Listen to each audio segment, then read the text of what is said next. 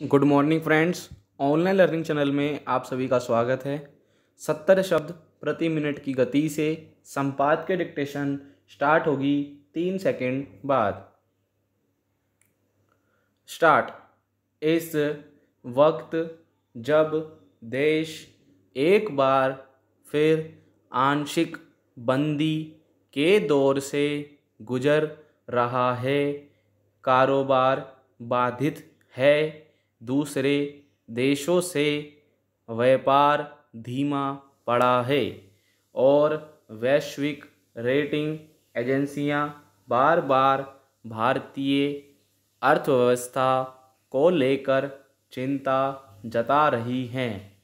तब मार्च महीने में औद्योगिक उत्पादन में 22 फ़ीसद से अधिक के उछाल और अप्रैल में खुदरा महँगाई में करीब एक फ़ीसद की कमी दर्ज होना निस्संदेह राहत की बात है।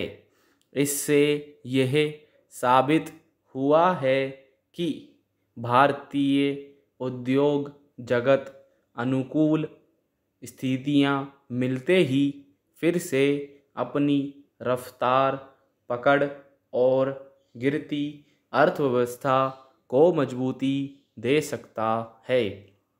पिछले साल पूर्णबंदी की वजह से भारतीय अर्थव्यवस्था बुरी तरह लड़खड़ा गई थी। विकास दर चिंताजनक रूप से ऋणात्मक स्तर पर पहुँच गई थी। बंदी खुलने के बाद हालाँकि सरकार ने उद्योग जगत को कई तरह के प्रोत्साहन पैकेज दिए, पर अनेक छोटे, मंझोले और सूक्ष्म उद्योग बंद हो गए। कारोबार ने अभी अपनी रफ्तार पकड़नी ही शुरू की थी कि कोरोना की दूसरी भयावह लहर आ गई और अर्थव्यवस्था पर फिर से गंभीर चोट पहुँचा दी। ऐसे में बीच के दो महीनों, मार्च और अप्रैल में उत्पादन और महँगाई के स्तर पर बेहतरी भविष्य के लिए नई उम्मीद जगाती है। अर्थव्यवस्था को मज़बूत बनाने में औद्योगिक उत्पादन की अहम भूमिका होती है। सरकार इसी बात को लेकर उम्मीद बनाए हुए थी कि अगर औद्योगिक क्षेत्र संभल गया तो अर्थव्यवस्था को हुए नुकसान की भरपाई जल्दी हो सकेगी। इसीलिए औद्योगिक क्षेत्र को कई तरह के प्रोत्साहन पैकेज दिए गए।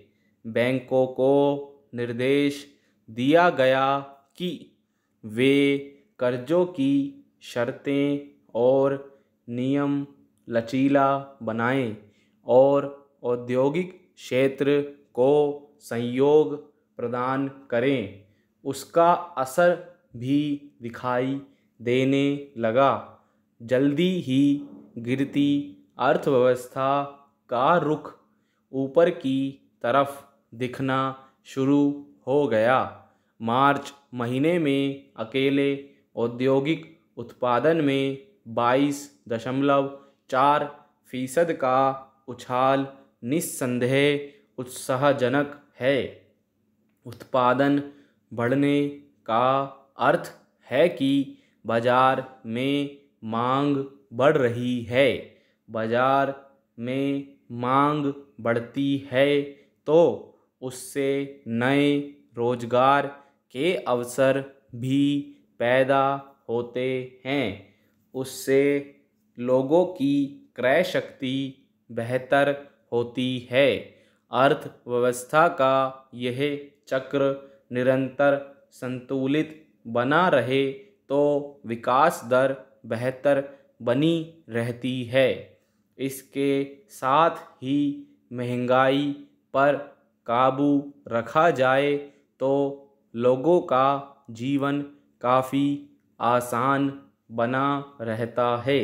अप्रैल में खुदरा महँगाई की दर पिछले महीने यानी मार्च के पाँच दशमलव बावन प्रतिशत से घटकर चार दशमलव उनतीस फ़ीसद पर पहुँच गई। इसके पीछे अनाज, फल और सब्जियों की कीमतों में आई कमी बताया जा रहा है। यह तब है जब पिछले कुछ समय से पेट्रोल और डीजल की कीमतों में लगातार बढ़ोतरी हो रही है। इस बार कोरोना ने फिर महामारी की शक्ल ज़रूर ले ली है, पर पिछली बार की तरह कारोबारी गतिविधियाँ पूरी तरह बंद नहीं की गई। हैं। कल कारखानों के बाहर ताले नहीं पड़े हैं। दफ्तरों में सीमित ही सही कामकाज चल रहा है। बाज़ार आंशिक रूप से ही सही खुले हुए हैं। इसलिए औद्योगिक उत्पादन और महँगाई के मामले में बेशक कुछ रुकावट आई है, पर पिछली बार की तरह इनमें चिंताजनक असंतुलन की संभावना नहीं है। औद्योगिक इकाइयों का प्रदर्शन थोड़ा बाधित ज़रूर होगा, पर बड़े उद्योगों पर उतनी मार पड़ने की आशंका नहीं है।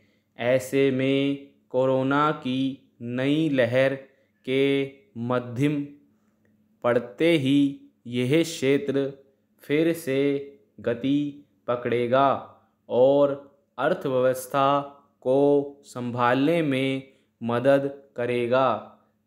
अगर सरकार महँगाई की दर को भी इसी तरह संतुलित रखने के प्रयास में सफल रही तो विकास दर को बढ़ाने और आम लोगों के जीवन की दुश्वारियाँ कम करने में काफ़ी मदद मिल सकती है।